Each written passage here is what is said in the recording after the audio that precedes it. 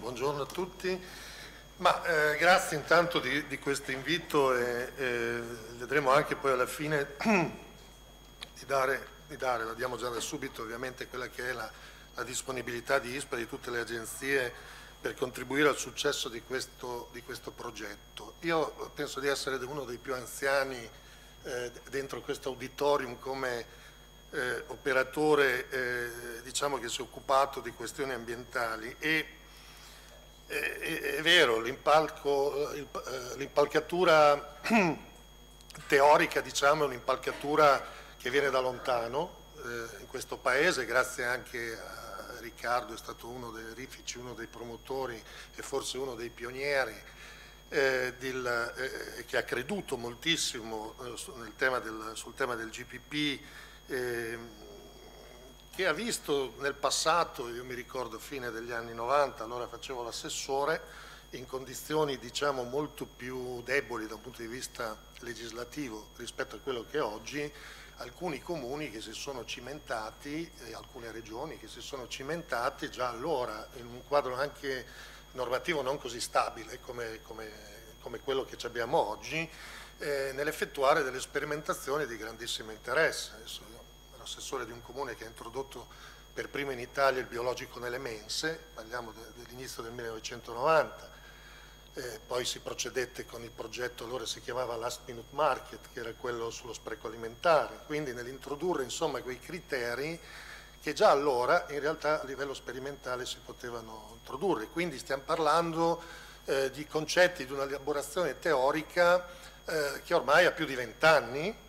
eh, e che purtroppo, eh, come veniva ricordato dal Presidente Viscaglia, nell'operatività, nonostante oggi ci sia anche un quadro regolatorio che è sicuramente più favorevole, ancora stenta eh, diciamo, entrare completamente nella prassi eh, delle pubbliche eh, amministrazioni. Per quanto, ripeto, se si facesse un, un eh,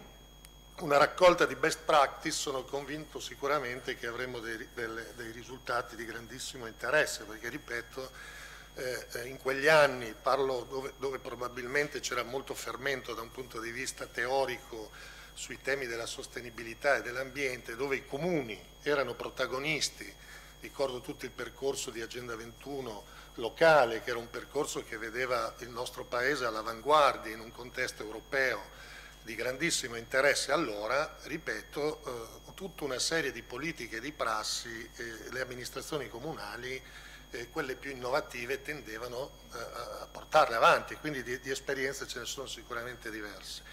Dicevo oggi il contesto riportato, scusatemi la semplificazione, però non c'è dubbio che sia il contesto strategico a livello internazionale che anche quello nazionale è assolutamente molto più favorevole perché da allora insomma, passi avanti ne sono stati fatti tanti. Io qui ho riportato alcuni ehm, eh, documenti, alcune linee diciamo, strategiche eh, eh, che credo siano assolutamente di grande importanza e che condizionano tutto il lavoro che noi dovremo fare per il futuro. Eh, mh, e quindi dall'agenda 2030 dove poi fa, come sapete c'è proprio un, un items che è il 12 che parla di produzione e consumo sostenibile, quindi in realtà a maggior anche supporto del fatto che il tema di cui stiamo parlando oggi non è un tema esclusivamente ambientale ma di grande trasversalità, perché ovviamente quando si, si parla di produzione e di consumo si intercettano altri, altri settori, che vanno da un lato quello ovviamente della produzione, numero uno, ma anche dei comportamenti e dell'educazione ambientale del cittadino, quindi sono, sono queste due grandi famiglie diciamo, di stakeholder di riferimento, da un lato il cittadino, dall'altro l'impresa, nel mezzo ovviamente la pubblica amministrazione eh, che eh, a seconda del ruolo che svolge deve, deve, deve fare il proprio mestiere. E non c'è dubbio che eh, con il recepimento su cui si sta lavorando del pacchetto del West Package, quello dell'economia circolare, eh, questo elemento eh, eh, diventa ancora più importante e più cogente. Ecco qui, vabbè, insomma, siete tutti addetti, gran parte addetti ai lavori, quindi mi scuso anche nelle, nelle ridonda, nel, nel, nel, dire se dico cose che siete, che, di cui siete perfettamente a conoscenza, ma ripeto, eh, questo, questo items eh, ehm, eleva diciamo, questo tema a, a, un, a, un, livello che va eh, oltre al tema squisitamente ambientale. E, e, quindi, come dicevo prima, il GPP è, è, è, è perfettamente all'interno della strategia nazionale di sviluppo sostenibile che altro non è che in gran parte l'applicazione dell'agenda, quello che dovrebbe essere l'applicazione dell'agenda eh, 2030. Quindi un contesto strategico, politico, internazionale, nazionale così favorevole diciamo, per portare avanti alcuni ragionamenti probabilmente eh, non c'è mai stato. E riprendendo il ragionamento fatto prima, se già da prima avevamo in condizioni molto più complesse e complicate amministrazioni che comunque si erano cimentate eh, in, eh, in, un settore come questo, credo che insomma oggi in teoria il contesto dovrebbe essere più favorevole da un lato, anche se vedremo poi che ci sono invece degli elementi frenanti che eh, eh devono essere assolutamente considerati. Quindi, come dicevo prima, di fatto le sfide che abbiamo di fronte sono eh, il tema delle, ovviamente delle imprese che devono di fatto eh, fabbricare prodotti più durevoli da un lato e dall'altro indicare anche servizi che siano ovviamente più sostenibili e i consumatori perché sono un elemento fondamentale in un'economia di mercato perché questi generano ovviamente domanda e eh, la politica dove per politica si intende anche la pubblica amministrazione diciamo nel suo operare che deve creare il contesto normativo da un lato ma anche gestionale ed esecutivo per poter arrivare a questi obiettivi. Eh, ecco, ci sono alcune questioni, eh, mh, ripeto, andando sempre più a fondo, che sono assolutamente fondamentali nel portare avanti un certo tipo di ragionamento. Eh, eh non c'è dubbio che eh, tutto il tema del GPP non è eh, sconnesso da quell'altra grande questione di cui ci si sta dibattendo e di fatto impantanando, che è questo del tema del cosiddetto end of waste, cioè di quando in realtà un, un rifiuto non è più tale e può essere reintrodotto eh, in un ciclo virtuoso da un punto di vista economico, il che non vi sfugge che nel momento in cui io faccio un appalto e indico che dentro questo appalto ci deve essere una sostanza, una, una materia, materiale che proviene da un percorso fatto in un certo modo, se questo percorso non va avanti, cioè, eh, implode, il sistema implode. E guardate non siamo molto lontani da questa situazione, quindi il paradosso del paradosso è che da un lato abbiamo un contesto assolutamente favorevole, dall'altro ci stiamo incagliando e addirittura oggi stiamo mandando in crisi le regioni che sono le più virtuose eh, eh perché i prodotti le filiere eh, eh, e i prodotti che possono essere oggetto di recupero o le filiere che portavano con il blocco delle autorizzazioni stanno mettendo in ginocchio una buona fetta di imprese virtuose del nord Italia. Da lì aspetti anche assolutamente patologici come questa recrudescenza degli incendi eh, che ci sia stato ultimamente, che non è che prima non c'era, ma non in una, in una, in una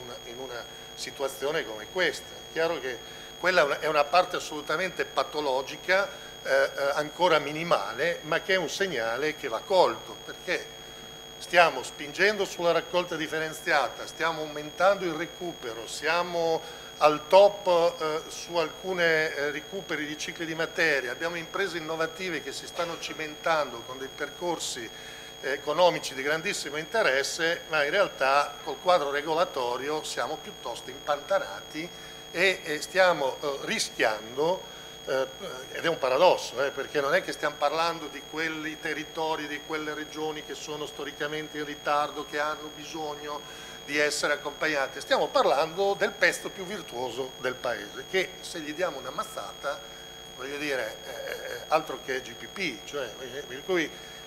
vanno considerate, scusate se mi sono permesso, ma visto che stia, lo stiamo vivendo quotidianamente anche da un punto di vista tecnico con i colleghi delle agenzie, ieri l'altro giorno ero in Emilia Romagna, vetreria che sta chiudendo, 100 persone a casa dal lavoro, vetreria recupero di materia, cioè è un'azienda che faceva riciclo, recupero, cioè non è che stiamo parlando di produttori primari, quindi non c'è dubbio che il tema deve essere eh, considerato. Tema della ricerca e innovazione, mi soffermo perché è evidente che nella progettualità eh, dei prodotti e, e, e, e, nella proposta de, de, de, dei percorsi anche eh, di servizi eventuali che vengono forniti devono assolutamente essere eh, in linea. Eh, si sta facendo con questo progetto e ben vengano il tema dell'educazione, informazione, comunicazione e sensibilizzazione del sistema eh, e vabbè, razionalizzazione dei consumi, vabbè, poi c'è un indicatore sugli acquisti verti più o meno che anche questo conoscete bene. Eh, sotto è semplicemente riportato quello che oggi è il nostro quadro normativo, diciamo che è un quadro assolutamente più favorevole rispetto eh, al passato. Ecco, in questo contesto, so, parlo un po' di noi, eh, la, la, la, il Sistema Nazionale di Protezione dell'Ambiente, legge 132, in cui ISPRA svolge funzioni di coordinamento, ma che comprende eh, le 21 agenzie regionali e delle due all'interno del quale ci sono ovviamente anche le due delle province autonome, Trento e Bolzano, eh, è da, da, anni impegnato in, eh, questa, eh, in questa, attività. E eh, non c'è dubbio che la, la, la, nuova, la, nuova, norma, la chiamo ancora nuova perché in realtà la, 132 è in gran parte ancora inapplicata, ehm,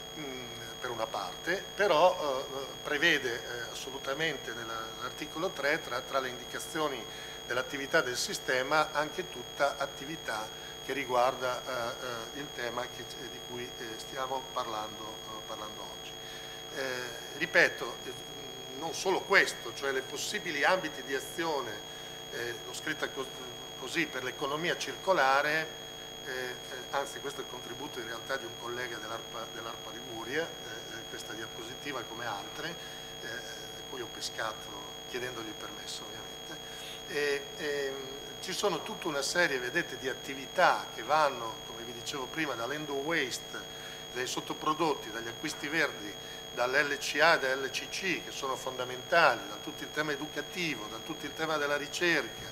eh, c'è tutto il tema degli inventari dei gas serra di cui noi siamo depositari e poi c'è anche tutto il tema dei controlli ambientali eh, che non sono eh, secondari rispetto ai ragionamenti che stiamo facendo, perché tutta la volta che si parla di controlli ambientali si immagina sempre il controllo eh, um,